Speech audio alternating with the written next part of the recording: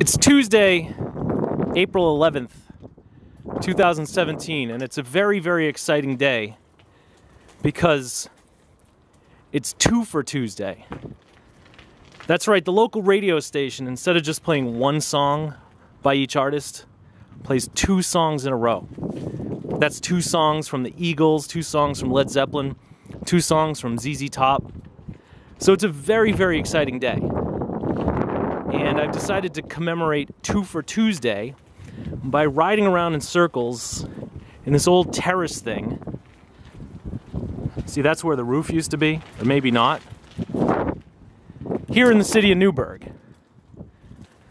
Now, Mother Nature likes Two for Tuesday, and she celebrates by blowing the wind across the microphone of my camera, to which I still have not affixed one of those little furry things to foil Mother Nature's attempt to ruin the audio. So, I'm going to talk loud and proud, and if you hear a lot of blowing, that's our good friend Mother Nature. So, why am I riding around in circles? It's so that I can show you this mountain bike. This is a Hyper Wave mountain bike. So, let me start with the logo.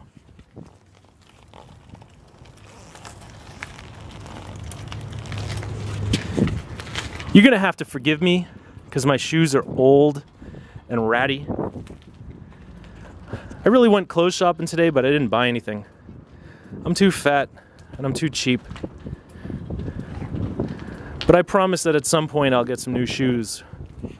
Maybe not before my next video though. This bike's called the Wave. Let me zero in on that part of the bike where it says Wave.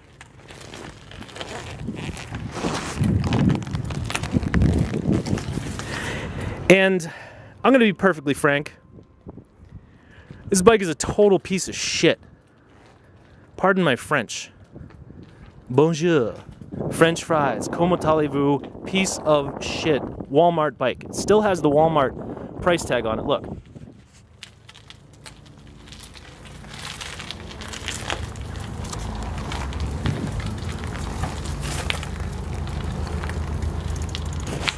All right, so I focused on that for like five minutes just now, and hopefully you got to see that. $99.95. What that means is the person who got this bike from Walmart paid for it, rode it for like a day, got a flat tire, and said, This bike sucks ass. And uh, then they just threw it in the garbage. Yeah, that's where I got this bike. Out of the garbage. So this bike is heavy, even though it has a frame that's supposedly mega light. Look at this.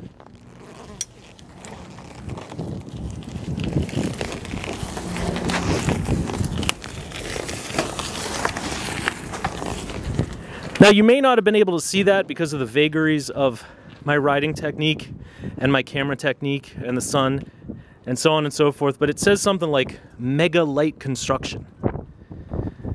Now, I don't think that's verifiable, but I don't think it's disprovable either, and that's why they can put it on there. Plus, I think the front half of the frame is made out of aluminum, so if you stripped all the other junky steel parts off of it, you might, in fact, have a mega light front frame. This bike also has suspension in the front.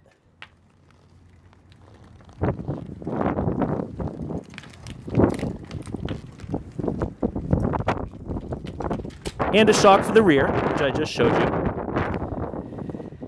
And personally, I would issue the suspension in favor of, say, better parts, better tubing. But I think that it has been proven time and time again that people who go to Walmart looking for bikes like a bike that has a bunch of fancy stuff on it, like a lot of gears. This bike apparently has the X-Track system of gears I haven't really shifted it much. I'm not going to try it now because I don't want to end up in a higher gear and then fall off.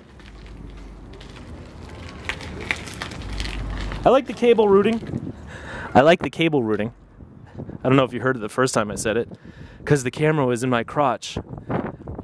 But there's three sets of cable bosses down the top tube. And then there's some cool gussets and stuff Usually these full suspension bikes, full sus- full suspension bikes have that. And I would call this frame a bow-legged design because of the two tubes in the middle.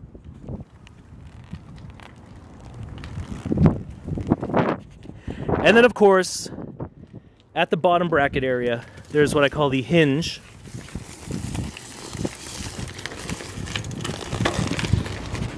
And that is where the two halves of the frame are connected.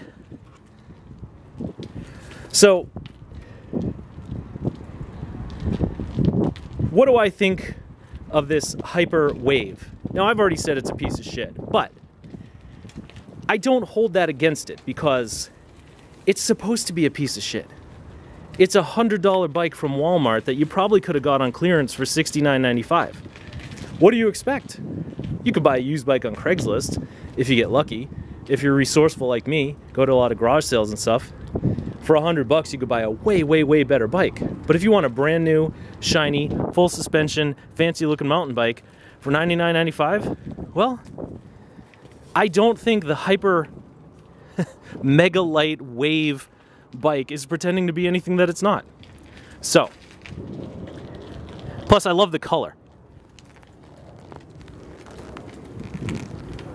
I think it would be a great color if it was used ironically on another bike rather than literally on this bike, but it's all right.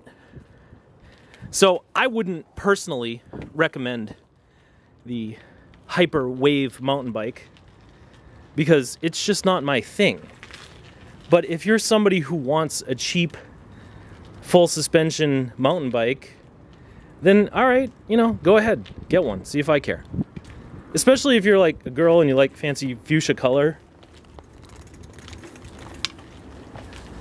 But I would say if you want a high quality bike, go buy a high quality bike. If you want a low quality, bouncy, heavy, cumbersome, awkward, full suspension mountain bike that uh, will, the, will be the envy of your friends if your friends don't know anything about bikes, then go ahead, and Mother Nature seems to be agreeing with me, go ahead and buy the Hyper Wave. Thanks for watching.